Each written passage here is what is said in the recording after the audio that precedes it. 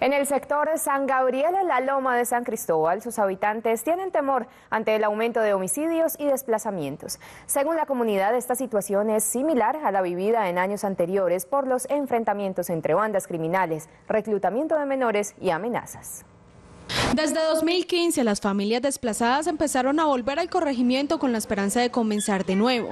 Sin embargo, para algunas corporaciones la amenaza seguía latente. Nosotros como Corporación Jurídica Libertad siempre insistimos ante la institucionalidad que la, que la materia de seguridad era una materia delicada para tratar allá y que era menester ponerle cuidado y atención. La personería advierte que este año la situación es delicada. En lo que va corrido el año se han presentado 23 homicidios y con respecto al mismo periodo del año anterior hay un incremento del 92%.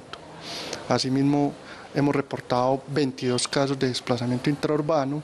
Las puertas permanecen cerradas porque el miedo no las deja abrir.